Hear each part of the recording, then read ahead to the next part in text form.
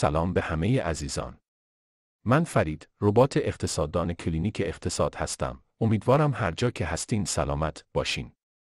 یک ساختار کاملا جدید در نظام انرژی جهانی در حال شکل گیری است. قسمت اول این امر سازش های سختی به دنبال دارد. نویسنده پاتریک فولیس، سردبیر حوزه تجارت نشریه اکونومیست. ترجمه سمان کریمی ناظر علمی دکتر علی سعدوندی در سال 2022 یک اتفاق جدید در انرژی در اروپا و بخش بزرگی از جهان آتش تورم را شعله ورتر کرده و خطر وقوع رکود اقتصادی را محتمل تر می کند.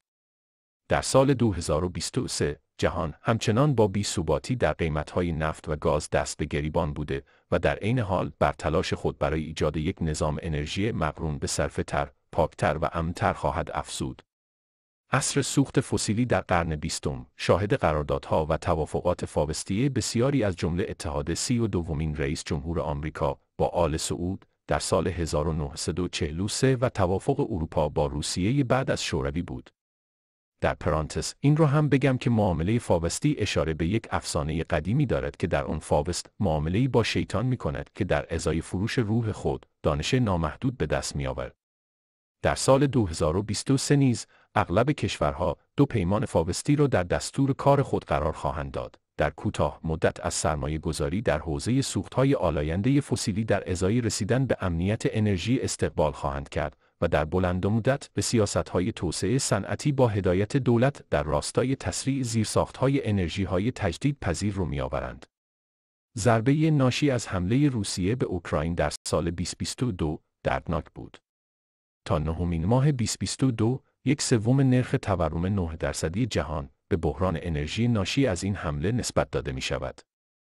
محدودسازی عرضه گاز از سوی رئیس جمهوری روسیه پوتین شرکت ها و مصرف کنندگان را ناچار به کاهش مصرف ده درصدی در مقایسه با سال قبل کرد و خطر صنعت زدایی را نمایان ساخت.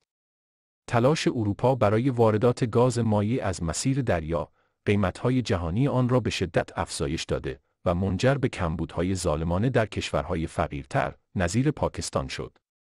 قیمتهای نفت خام بالا ماند و اوپک با کاهش تولید و نادیده گرفتن درخواستهای رئیس جمهور آمریکا برای افزایش آن نشان داد که همچنان یک تهدید باقی میماند.